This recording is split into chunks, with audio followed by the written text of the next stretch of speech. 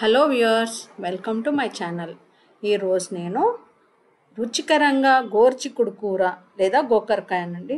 ఎలా చేసుకోవాలో చూపిస్తానండి. గోర్చికుడు గోకరకాయ ఇష్టం లేని వాళ్ళు కూడా చాలా ఇష్టంగా తినేలా చేసుకోవచ్చు. ఇవి మా టెర్రస్ గార్డెన్లో వచ్చిన గోర్చికుళ్ళు కొన్నే ఉన్నాయి. అయినా నలుగురికి సరిపడేలా వండుకోవచ్చు. ఇది అన్నంలోకి చపాతీలోకి పుల్కాలోకి రోటీ దేంట్లోకైనా బాగుంటుంది. గోకరకాయకి పక్కన ఇలా నార ఉంటుంది. ఆ నార తీసేసేయాలి. అది తీసేయకపోతే తినేప్పుడు నోటికి తగులుతూ ఉంటుంది. ఇది పొరపాటున కూడా చాకుతో కట్ చేయొద్దు. కట్ చేస్తే మాత్రం ఈ నార రాదు.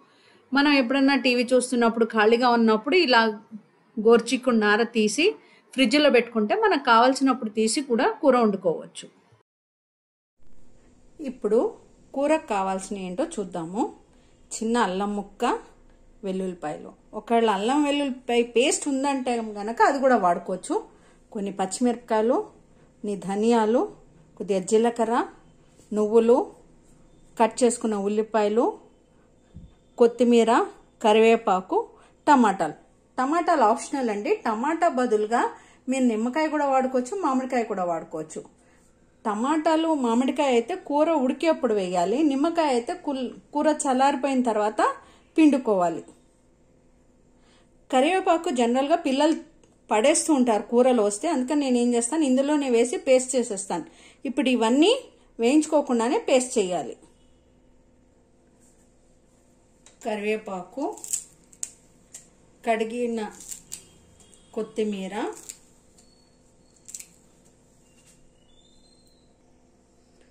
కడిగి పెట్టుకున్న పచ్చిమిర్చి ఇలా ముక్కలుగా చేసి వేయాలి. లేకపోతే పేస్ట్ అవ్వదు. వెల్లుల్లి తర్వాత అల్లం కూడా చిన్నగా కట్ చేసుకోవాలి.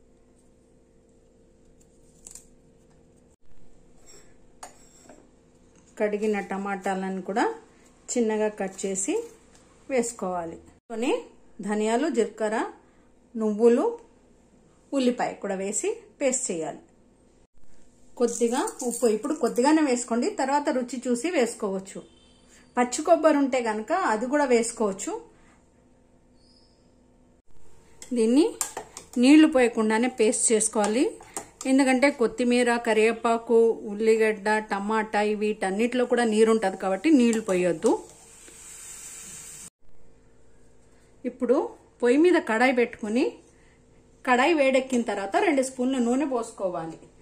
నూనె వేడెక్కిన తర్వాత ఈ పేస్ట్ని అందులో వేసుకోవాలి. పేస్ట్ నూనెలో వేసుకున్నాక చిటికడు పసుపు. పొద్దున మనకు టైం లేదు అన్నప్పుడు ఒకరోజు ముందే ఈ పేస్ట్ చేసుకుని గోకరకాయ ఒలిచి పెట్టుకుంటే కూరకు పెద్ద టైం పట్టదండి. ఇది ఫ్రిడ్జ్లో పెట్టుకోవచ్చు పేస్ట్ చేసి. ఇది మీరు కావాలంటే కుక్కర్లో కూడా చేసుకోవచ్చు. ఇది ఏంటంటే నా టెర్రస్ గార్డెన్వి కాబట్టి లేతగా ఉన్నాయి ఊరికేనే మగ్గిపోతాయని ఇలా కడాయిలో చేస్తున్నాను. ఇది నూనె తేలేంత వరకు కలుపుతూ ఉండాలి. ఎందుకంటే మనం అన్నీ పచ్చి వేసాం. ఒకవేళ అలా కాదనుకుంటే కనుక అన్నీ వేయించుకొని పేస్ట్ చేస్తే అప్పుడు ఎక్కువసేపు పొయ్యి మీద పెట్టవసరం లేదు. ఇలా నూనె తేలిన తర్వాత ఒలిచిపెట్టుకున్న గోకరకాయ వేసేయాలి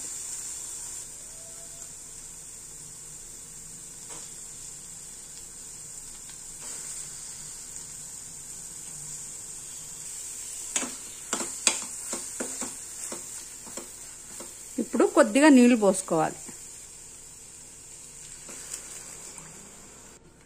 ఇది సిమ్ మంట మీద పెట్టుకొని పది నిమిషాల వరకు ఉడకనివ్వాలి. హైలో పెడితే ఈ మసాలా అడుగంటుతుంది.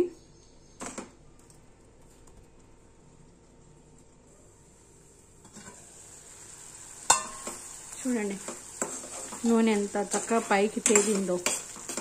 ఇప్పుడు గోకరకాయ ఉడికిందో లేదో చూసుకోవడానికి చిన్న టిప్పు ఏంటంటే ఇలా తీసుకుని నీళ్ళు పోసుకోవాలి. ఇదండి ఉడికిపోయింది. కొంతమంది గోకరకాయని ఫస్ట్ నీళ్ళు పోసి ఉడకబెట్టుకుంటారు. అలా చేస్తే ఈ మసాలా గోకరకాయకి పట్టదు టేస్ట్ కూడా ఉండదు.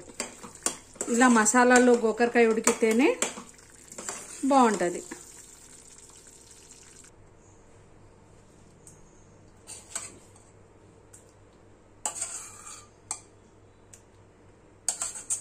హైదరాబాద్లో ఒక నానుడండి జవారికి రొట్టి గవారికి పల్లి అంటారు.